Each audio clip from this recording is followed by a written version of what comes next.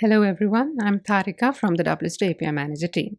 Today we are going to talk about API analytics capabilities of WSO2 API Manager.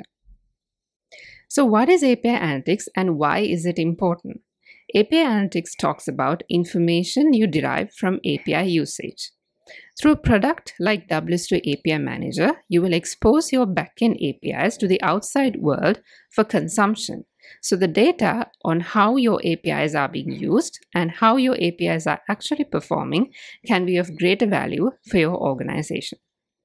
And therefore, API Analytics can help you take strategic decisions regarding your business by understanding how your APIs perform and identifying how that information can be used to maximize your profits, whether to discontinue any APIs or identify what new opportunities can be utilized.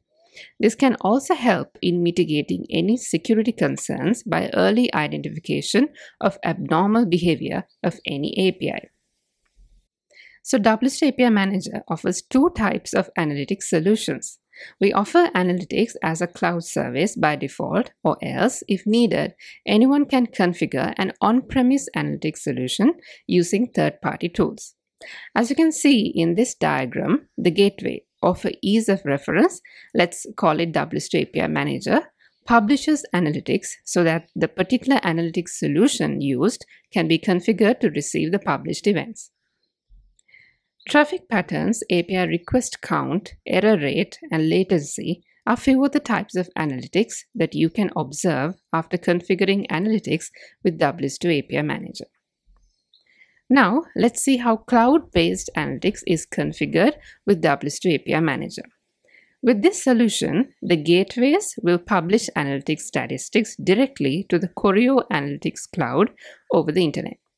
You have to follow several steps in order to get started.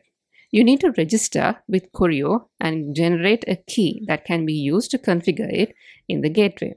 This is used in publishing analytics events to the cloud. After invoking the APIs, you can now access the Cloud Analytics dashboards referred to as Choreo Insights to view the API analytics. The on-premise analytics solution for WSO2 API Manager will publish analytics data into a log file, and that file will be used as the source for the analytics solutions such as ELK or Datadog. If you look at this diagram, you will see how ELK Analytics works in the on-premise analytics solution in WSO2 API Manager. ELK-based analytics deployment architecture has four main components. They are FileBeats, Logstash, Elasticsearch, and Kibana. Finally, Kibana dashboards can be used to view the relevant API analytics.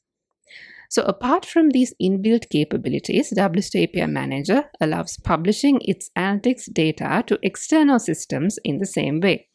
For this purpose, you need to create a custom event publisher. Also, instead of publishing already available analytics events data, it is possible to publish custom analytics data with the existing event schema. All required guidelines for these customizations are available in the WSO2 API Manager official documentation please do have a look. So this concludes our session where we looked at API analytics capabilities of WSO2 API Manager. Thank you.